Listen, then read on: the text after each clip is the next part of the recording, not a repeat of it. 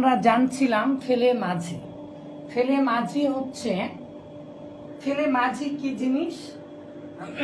ফেলে মাঝি মানেই হচ্ছে ফা, আ, লা, তিন অক্ষর বিশিষ্ট হওয়া, তিন অক্ষর বিশিষ্ট হওয়া।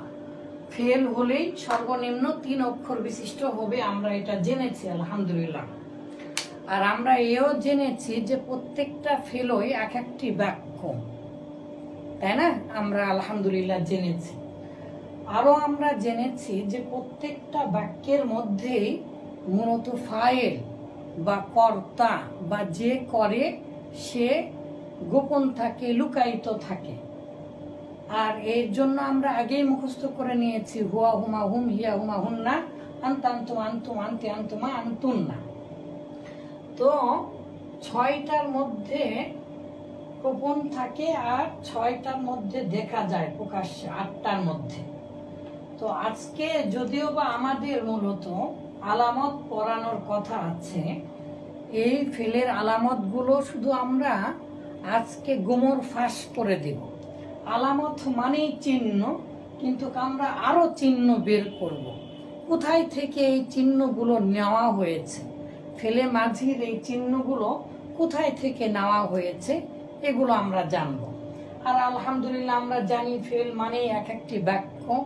আর বাক্য পৃথিবীতে কোনো দিন কোনো ফেল একাকই হতে পারে না। অবশ্যই একজন সাবজেক্ট বা কর্তা বা ফাইল দরকার।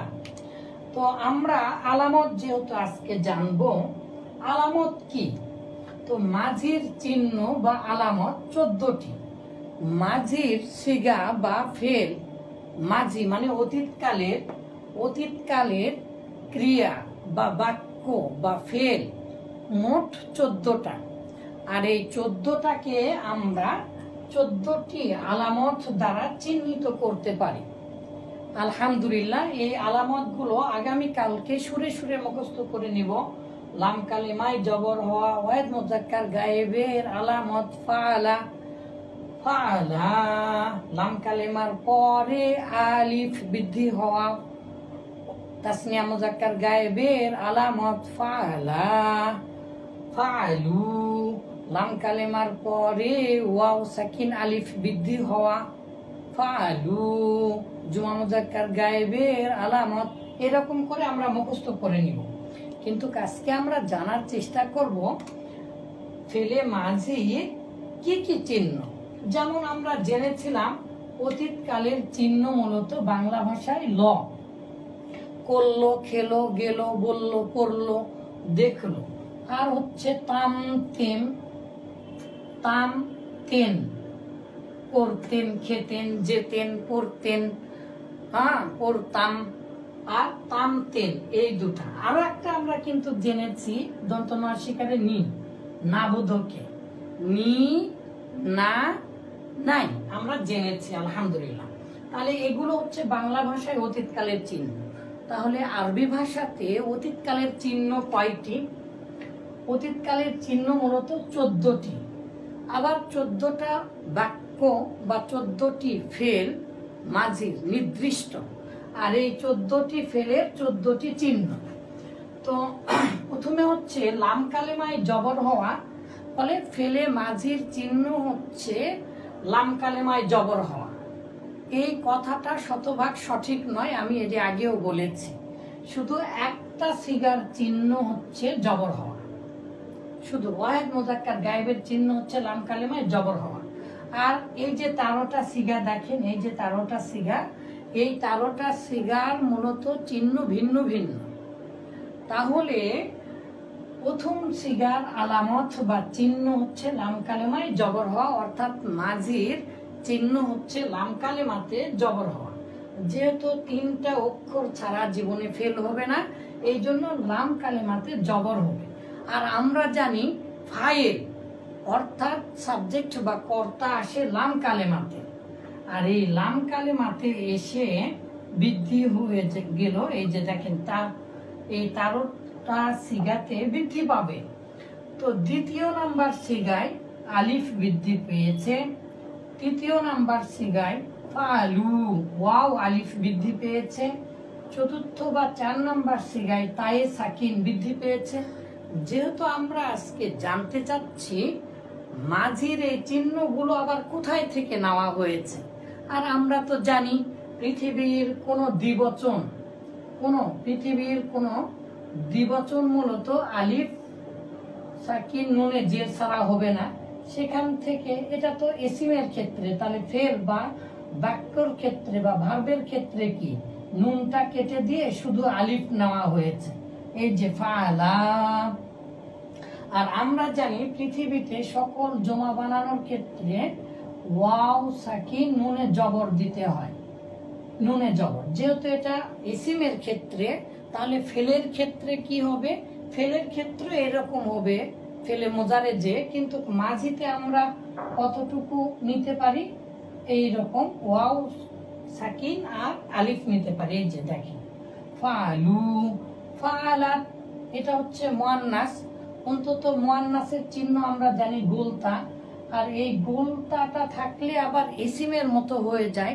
তাহলে আরও একটা চিহ্ন বের করা যায়, সেটা হচ্ছে তার মতো, এই যে তাই সাকিন ফালাত হয়তোবা যখন আরবি ভাষা জন্মগ্রহণ করেছে, যুগের পরে যুগ এভাবে চিন্তা করে হয়েছে। আল্লাহ ভালো জানেন, তবে আমি আপনাদেরকে বোঝানোর স্বার্থে বানাচ্ছি আর কি। আর যেহেতু আবার এই যে আলিফ ছাড়া তাসনিয়া হবে না কোনো দিন তাহলে ওই তাইয়ের সাথে আলিফ দেন। আর হুন্না মানে তারা, সেখান থেকে দুটা নুন না নিয়ে একটা নুন নেওয়া হয়েছে।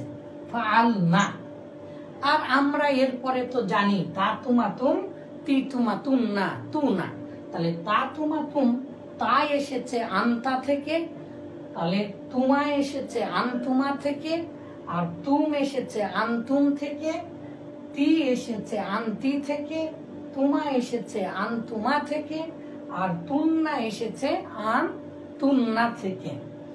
আর এই দুটা আনা নাহনু, এখানে কোনো মাস্তানি চলে না ভাই। আমি অনেক চিন্তা করে কীভাবে বুঝাবো জানি না।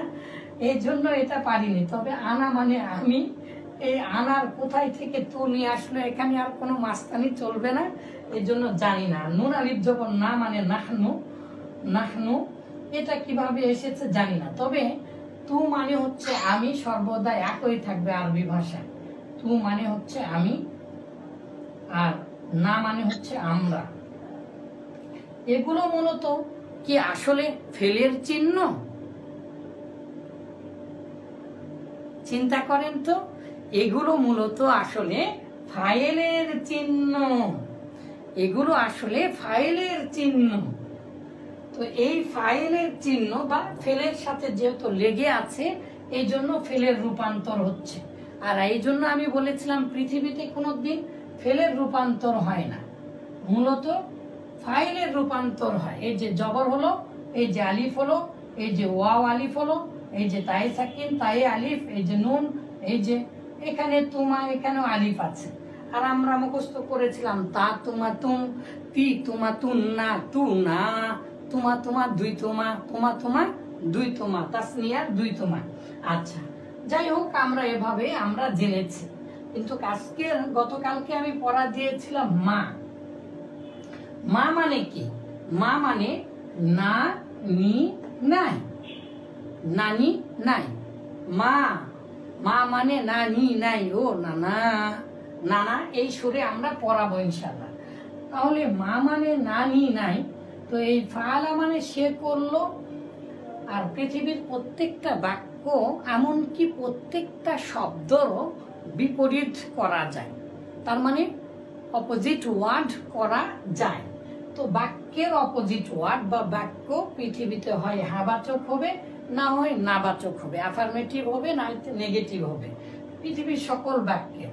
তাহলে ফালা মানে সে করল, মা ফালা মানে সে করল না। বা সে করে নি। তাহলে সে করেনি বা করল না, এটা মূলত মা আসলো। মা আসার কারণে এটা হয়ে গেল। এই মা মানে হচ্ছে ডিড নট কিছুক্ষণ আগে আপনাদেরকে সহায়ক ভিডিও দিয়েছিলাম। এরকম লাইভ ক্লাসের পরে অসংখ্য ভিডিও দেওয়া হবে ইনশাআল্লাহ। শত শত, অসংখ্য নয়, শত শত।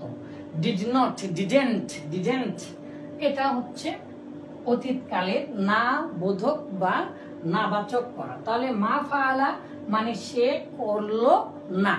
তাহলে আকালা যদি বলি, আকালা মানে খাওয়া, আল আকলু তাহলে আকা আকা লা তাহলে সে খেলো, তাহলে মা আকালা সে খায়নি।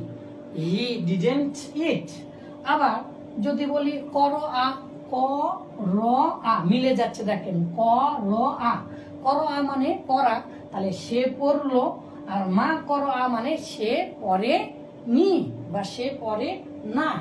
এরকম ভাবে আমরা ইনশাল্লাহ জানব।